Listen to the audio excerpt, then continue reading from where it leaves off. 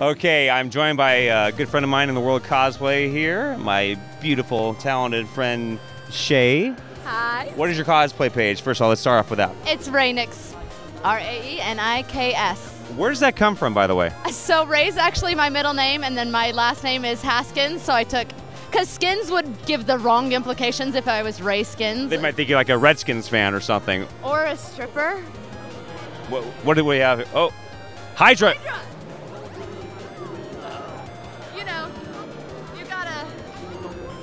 careful with these people. Cap to the rescue.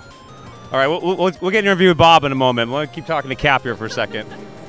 So, Cap, obviously, I, I've known you for a while. Cap is your favorite character. We've talked about this. Well, so is Wolverine. Well, But thank you. I, I don't think I could pull this off, the chops off, you know.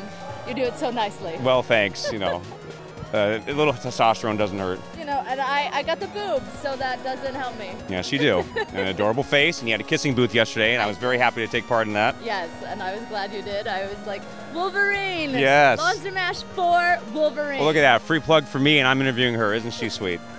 You gotta, gotta help your friends out. Thank you so much. So tell me, what do you like so much about Cap? Why do you like to cosplay him?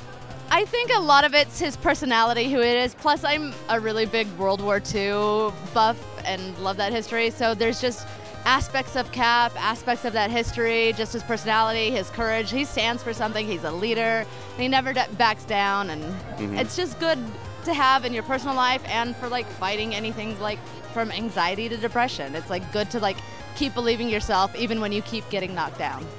Well put. I like that. That's why I like Cap. Good. Well, we like you, and I want you to like her too. So check her out on Facebook. Once again, at Rae Niks. R A E N R A E N I K S. you got it, folks. Check her out.